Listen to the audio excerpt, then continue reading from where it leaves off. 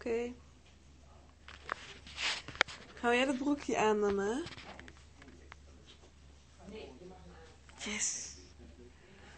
Ja. Ik heb moeder de kleding. Hoi, mam. Ik ga vloggen.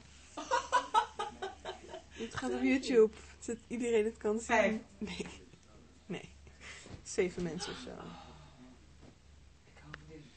Ja, Gladiator. Nee. Nou ik zit dus in Portugal, in Cascais, bij de moeder van mijn moeders boyfriend. Ik ben net wakker, het is ongeveer 8 uur zo. Ik ben een film aan het kijken die ik eigenlijk helemaal niet begrijp. Ik weet niet hoe ik moet zappen.